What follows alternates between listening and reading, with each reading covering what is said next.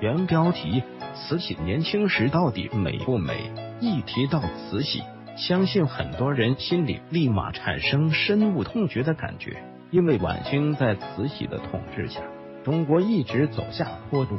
加上慈禧那句“量中华之物力，解有国之欢心”的名言，相信没人对她有好印象。尽管我们后人对慈禧不感冒，但慈禧生前还是吃的很香的。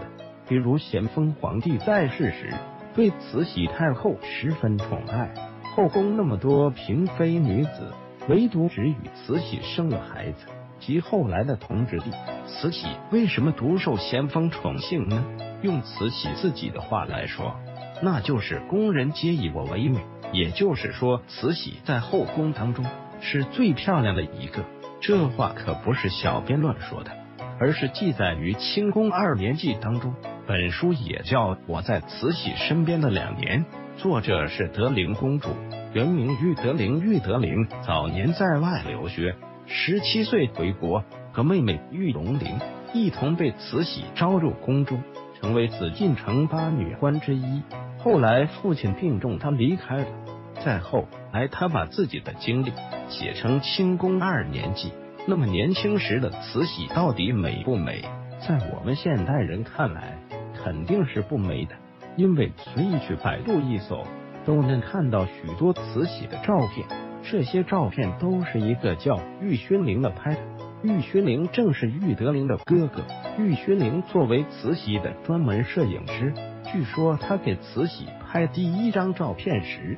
慈禧被闪光灯吓住了，以为照相机会勾魂。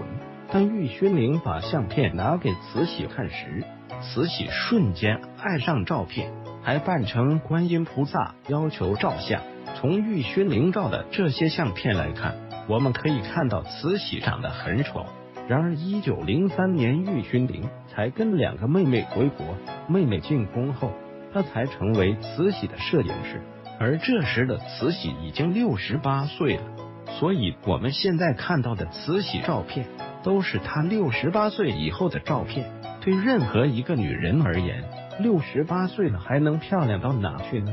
而且人老珠黄，相貌自然就逊色了。那么慈禧年轻时到底漂不漂亮呢？小编认为她肯定是很漂亮的。大多数网友看法也跟小编一样。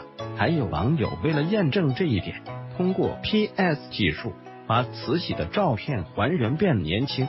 如下图，怎么样？慈禧年轻时看起来是不是挺美？返回搜狐查看更多责任编辑。